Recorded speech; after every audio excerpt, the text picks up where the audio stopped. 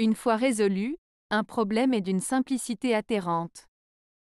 Paulo Coelho.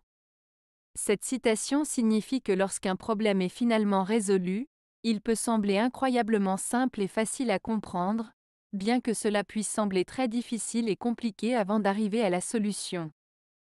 Parfois, la complexité d'un problème peut nous empêcher de trouver une solution immédiate, mais une fois qu'on réussit à le résoudre, on peut voir que la solution était sous nos yeux depuis le début.